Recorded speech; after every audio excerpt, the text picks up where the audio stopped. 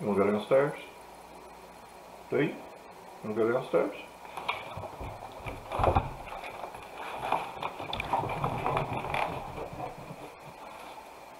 Elliott here, Lazy Dawg's Records, and uh, I saw a great uh, video from Brian at uh, Shamrock'n Records. I'll put a link to Brian's video uh, below for you to check out if you haven't already seen that, but you may have already seen it. It's a, a look at his favorite blue-eyed soul artist, and uh, it was really good. I really enjoyed it introduced me to some that I wasn't familiar with, and I thought I would piggyback off of uh, of his video and uh, do a response, I guess you would say, uh, and look at some of my favorite Blue Eyed Soul records, and hey, maybe we can make it a thread if uh, others want to do it. Uh, Brian's the only one that I've seen, but there may be others out there, and if there are, again, down below, uh, let let folks know, and we can look at all those too.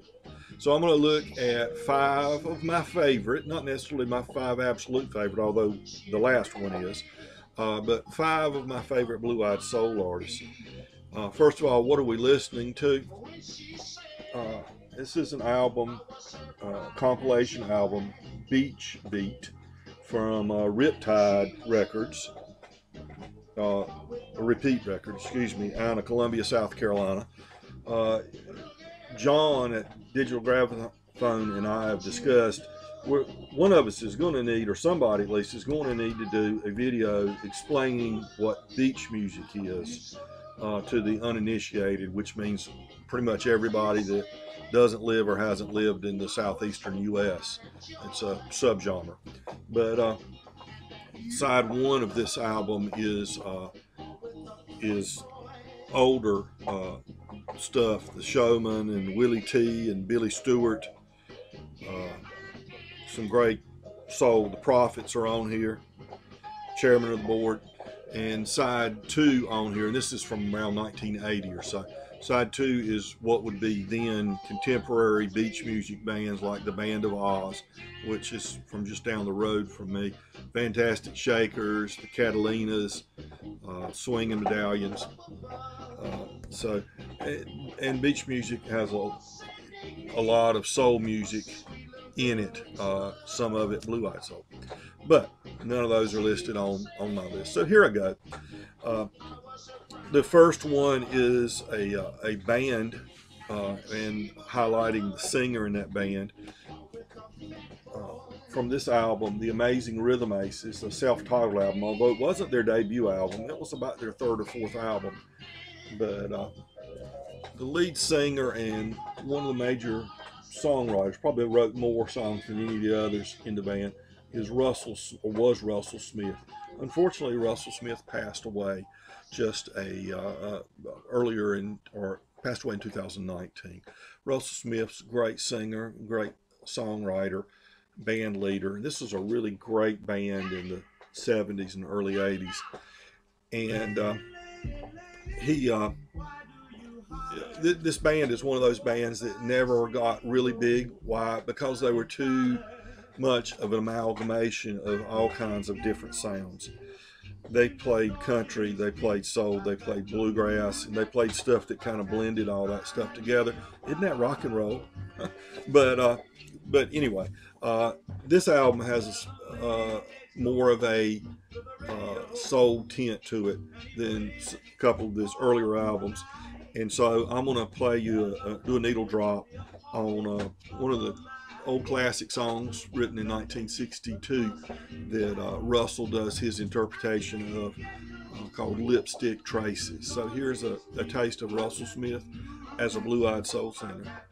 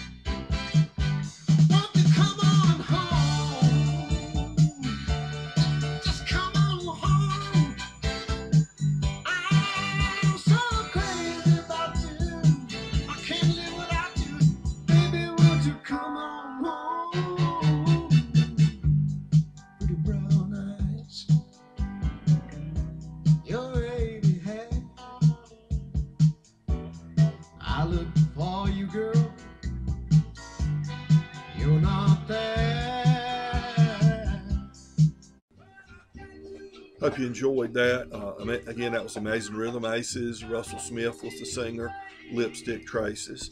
And uh, the next Blue Eyed Soul artist is a female artist, uh, also in a band at this time. Uh, the band was called Mother Earth, and the singer is Tracy Nelson. There she is in the center with her dog. Uh, just look how young she looks in there. A kid. Uh, this is from 1970, I believe. And uh, Mother Earth was a band. Uh, she's from Wisconsin. And uh, in San Francisco, Mother Earth was formed. And after a couple years or less, they moved to a farm outside of Nashville. And they, they put out, I believe they were, Mer- they all Mercury records. Um, they put out several albums, and eventually the album started being instead of Mother Earth, they would be Tracy Nelson and Mother Earth, and then eventually they were just Tracy Nelson albums. But the the whole band stayed together for uh, even when it was just Tracy Nelson for a while, or several key members did at least. So uh, Tracy Nelson, really good uh, soul singer. And uh, I'll play you uh, the title track. The album is called Satisfied from 1970. And here is uh, Tracy Nelson, uh, uh, a little bit of her and the man Mother Earth.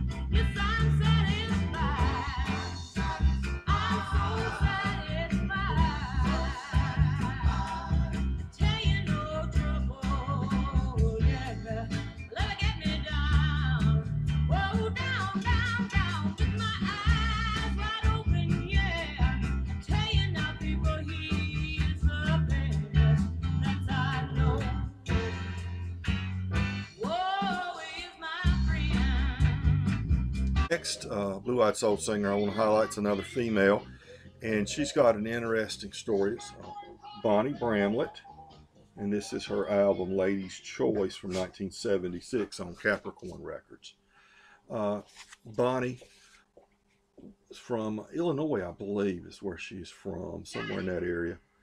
And uh, she, uh, at 17, became uh, temporarily became an Ikette.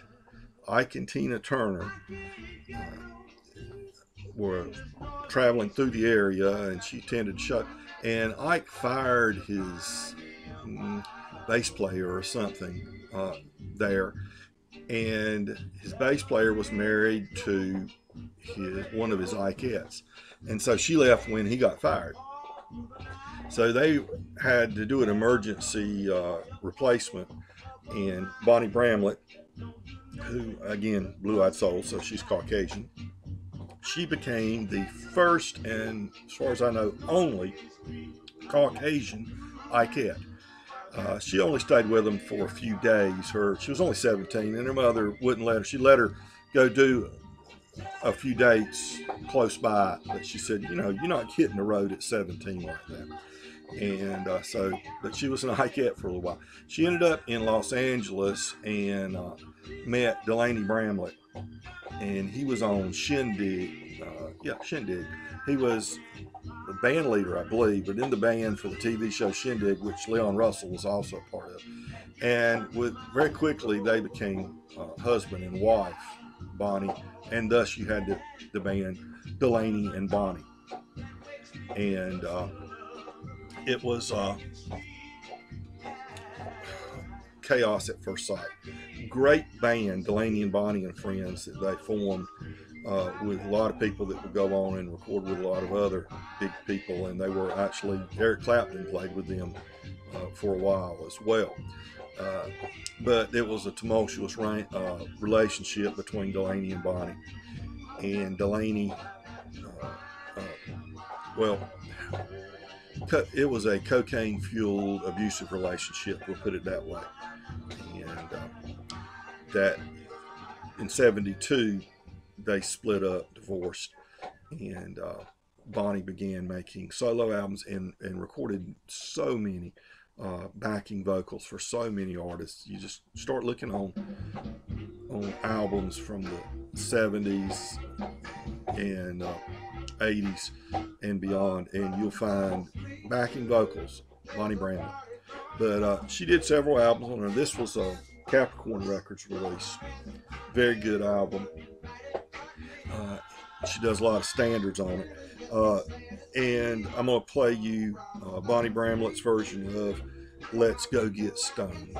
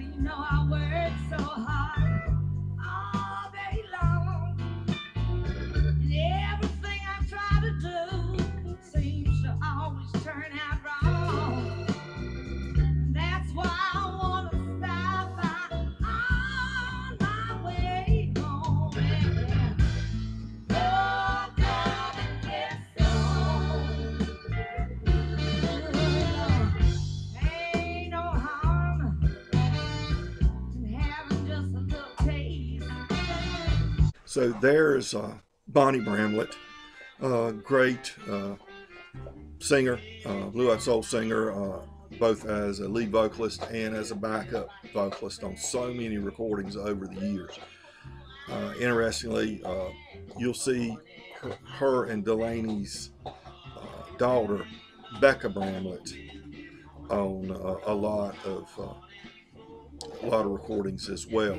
She uh, she is again as a uh, she was with Fleetwood Mac. Becca was was with Fleetwood Mac for a couple of years, uh, but she uh, she does has her own recordings and does a ton of backup vocals on other people's albums, just like her mom Bonnie Bramlett.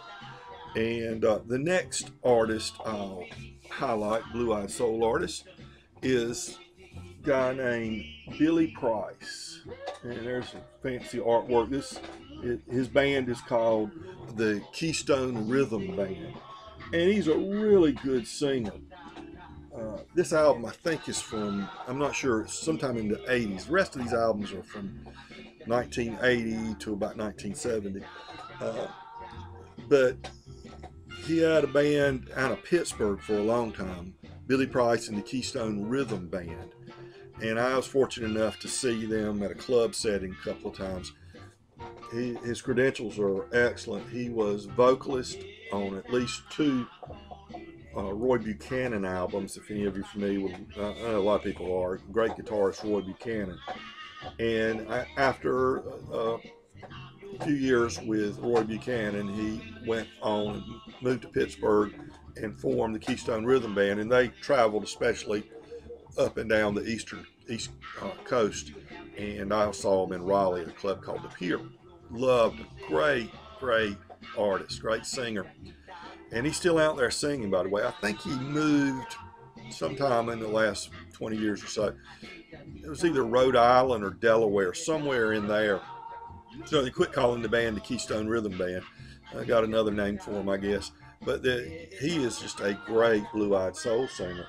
And i like the artwork on this album too uh, kind of interesting.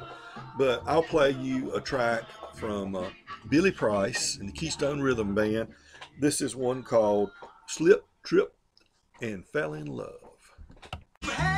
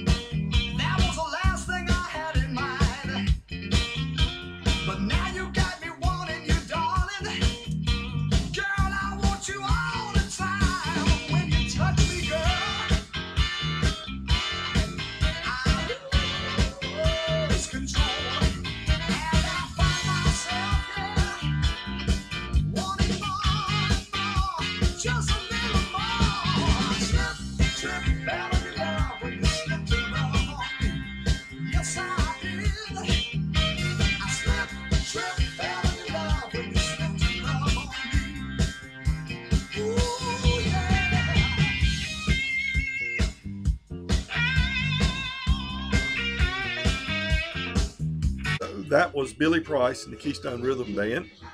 My final Blue Eyed Soul singer I want to highlight is maybe my favorite uh, performer, artist of all time. One I've probably seen more often than anyone else. I've probably seen them maybe 10 times, maybe six, somewhere in there, you know, a lot. It's hard to remember how many times. So he's traveled the circuit and, uh, around my neck of the woods a lot. Uh, he goes all the way back to uh, the 1950s when he was a teenager, backing blues artists in the Fort Worth area of Texas. Uh, he and his teenage band would, a lot of the blues artists would not travel with a band. When they got to a place they were going to perform, they would just link up with uh, local musicians who would who would back them up for their appearances, and that's what he did a lot. That's Delbert McClinton, and this is the jealous kind. Uh, Delbert uh, recorded uh, regionally in the late 50s into the mid 60s. Went to LA, formed a duo, uh, Delbert and Glenn, and uh, I did a couple albums like that, and then started doing solo albums.